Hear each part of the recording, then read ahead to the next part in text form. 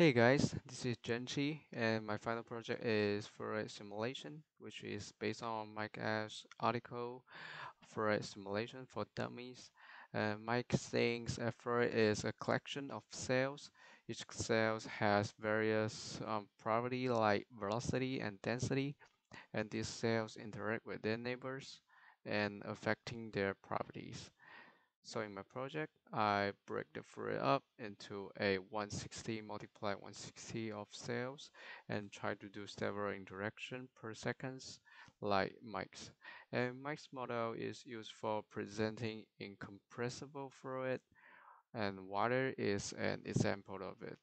Incompressible fluids are simpler to simulate because their density and pressure is always constant.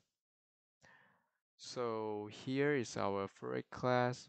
We use pointer to point to the arrays that store all kinds of data we need.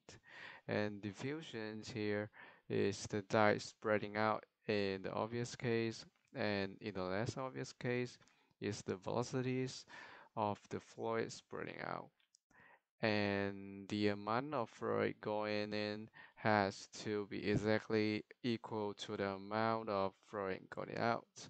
So we use this project function to handle this. And every cell has a set of velocities and these velocities make things move and this is called advection.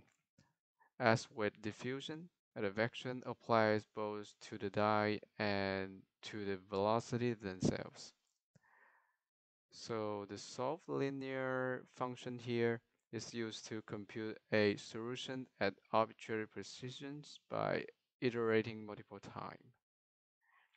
And I record the mouse prediction and calculate the offset and add the density and velocity based on it.